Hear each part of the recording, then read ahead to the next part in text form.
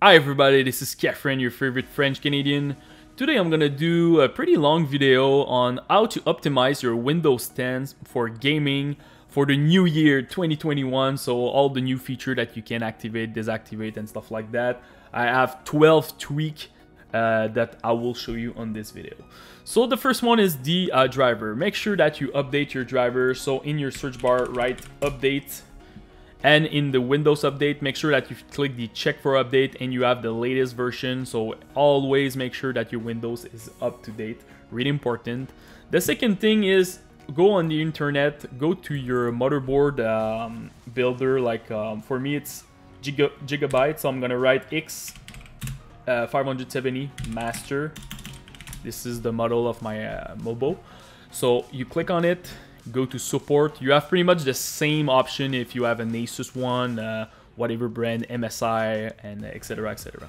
Make sure that you select your driver and us. So for me, it's Windows 10 64-bit.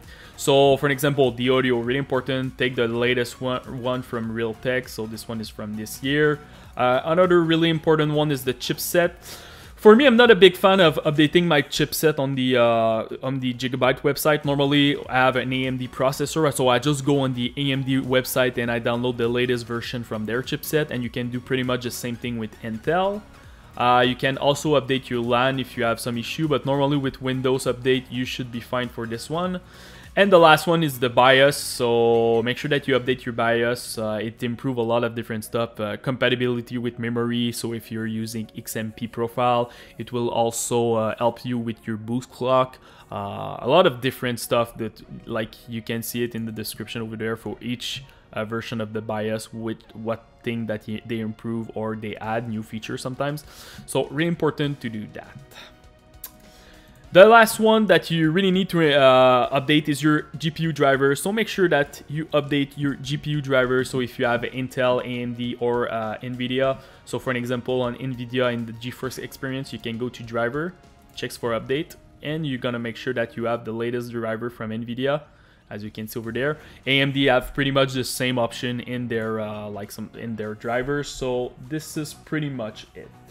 The second uh, tweak that I will recommend you is don't use any antivirus. Uh, it's causing a lot of issue for gaming, so don't use that. Just use the one from Windows and make sure that it's always updated. And don't do crazy stuff on your computer, you know, email, don't open .exe random file and stuff like that. And you will be fine. The third tweak is the energy plan. A lot of uh, people have issue with that, uh, mostly on laptop sometimes it's weird you plug your laptop in the wall and it, the the behavior of the laptop is like you're, you're on your battery so you don't have like the maximum boost from your cpu gpu and stuff like that. So really important here right energy. So you have power sleep setting. Go to additional power setting over there and me, uh, when you install the chipset from AMD, you're getting a uh, preferred plan from AMD. So for AMD, for an example, you can use balance or high uh, performance. I did a couple of tests between both, and uh, balance is fine for me. I'm pretty, I'm doing pretty much the same thing in Cinebench when I benchmark my, my uh, CPU. So that's why I went for balance. But normally you will just have the one from Windows. So go with something like balance or even high performance if you want to make sure that you everything run as faster as they can. So really important and don't use for sure power saver, saver because uh, your CPU and GPU will not be at 100%. Uh, you can also do the same thing on your GPU. So right click here, go to your control panel. If you have an NVIDIA, you can pretty much do the same thing on AMD. So in the manage 3D setting, you can go to power management mode. Make sure that it's at prefer maximum performance. By default, it will be at optimal power, but you want to use this one. And pretty much, uh, yeah, it's automatically save after that. So this is pretty much it for the power saving. After that, uh, game mode, the fourth tweak, right, game mode, sorry, game mode over there. Make sure that game mode is at off. Uh, I did a lot of tests with the game mode, like 25 different game with benchmark and stuff like that. Sometimes it help you a little bit, like 2-3 FPS improvement, but mostly you're getting like random stuttering, random lag because of that. So for me, game mode should be at off. Also, the Xbox game bar, make sure this one is at off and all those capture stuff from Windows, background recording and recorded audio. And I also recommend like don't use any overlay, Discord overlay, Nvidia, AMD overlay. Make sure that everything is at off. It's taking resources and sometimes it's causing like stuttering, lag and stuff like that. The only overlay that you can really use is like MSI Afterburner or other program like that because you just want to see like statistic uh, GPU, CPU uh, temperature, your boost clock, and uh, your the, the amount of FPS that you have on your game. So MS Afterburner is pretty much fine when you uh, use that. So the next one, the GPU scheduling. Just write GPU in your uh, search bar. Open the graphics setting. Make sure that the hardware accelerated GPU scheduling is at on. You will need to restart your computer after that. I did I did a couple of tests with this one. Honestly, it's more like working on entry and mid-range level computer. Uh, you also need like uh, the Series 1000 or something recent like the 2000, 3000 series from NVIDIA.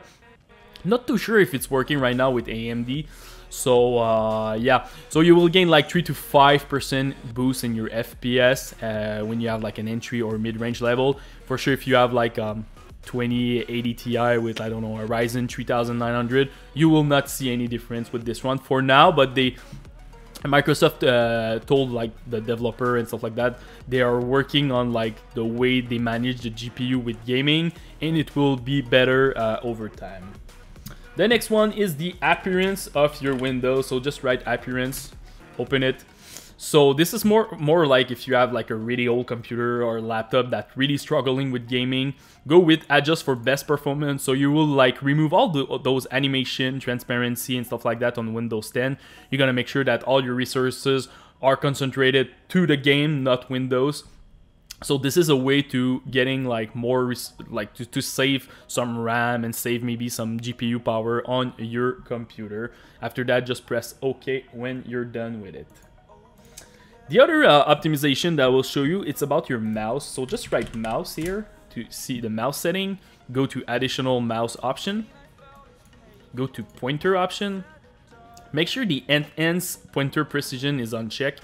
You don't want any acceleration in your mouse uh, a lot of like uh, driver from like Logitech, uh, Razer and stuff like that you can do directly on your driver but not all the people are using those kind of mouses. So really important just uncheck this and it will help you a lot with your muscle memory when you're gaming. Like if you're playing a first person shooter you don't want any acceleration because it will kind of fuck up your uh, muscle memory.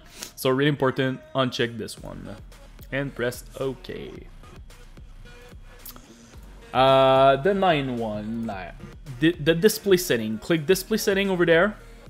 Go to advanced display setting and the refresh rate. A lot of people, uh, when they're uh, speaking to me uh, in my uh, Twitch stream, by the way, it's Kephren TV, um, they're like, yeah, I just bought a new uh, screen and it's 144 Hertz, and I'm asking like them, are, are you sure that you're running it at 144 Hertz? And when they look at Windows, they're running it at 60. So really important Windows uh, add a new feature on the uh, Windows 10 to make sure that you're seeing your refresh rate over there. So really important to make sure that you're running the uh, maximum refresh rate from your screen. Also, you can see it in your uh, driver graphic card driver. But look at it, make sure that you're running it because a lot of people are not doing it. Now we will look at the disk. So go to This PC.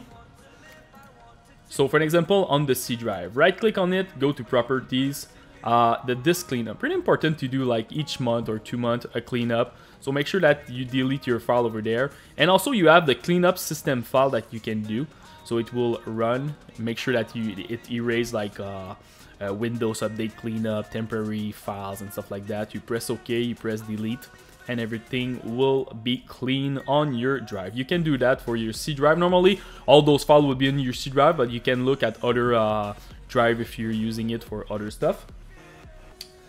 And the 11 one is the disk optimize. So the disk optimize, it's pretty much the same things. You stay in properties, you go to tool. After that, you go to optimize and defragment drive. Click optimize. And now, depending on if you have an SSD, and NVMe, or uh, you have like a, an old hard drive, that will be will have some fragments. So for an SSD, it's pretty it's pretty easy. You just click optimize, and Windows will optimize your SSD, so everything is fine. If you have like an old school hard drive, uh, it will analyze your uh, drive and after that it will defragment it. So if you see 0% fragmented, you don't really need to do it. For me, it's pretty much, uh, it's okay. But if you have like an old drive that you're, you're running for the past, I don't know, 8 years, probably you will have a lot of like percentage of fragments, so really important to optimize it.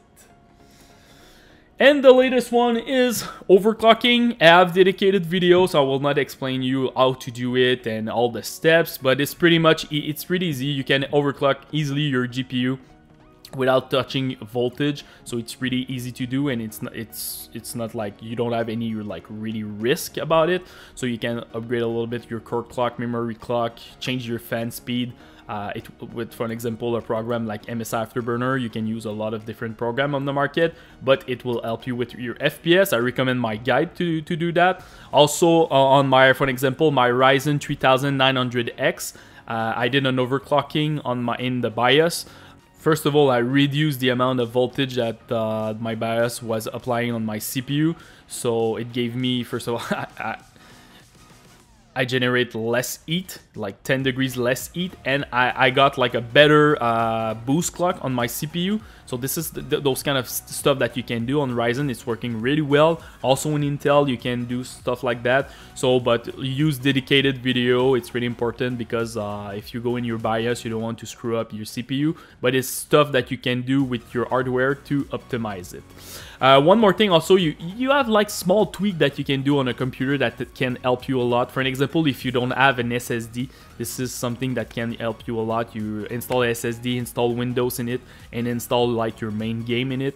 It will help you a lot. Also the RAM, if you have like 4 gig of RAM, 8 gig of RAM, uh, a nice small upgrade for your RAM can help you a lot with stuttering and issue that you currently have with your computer.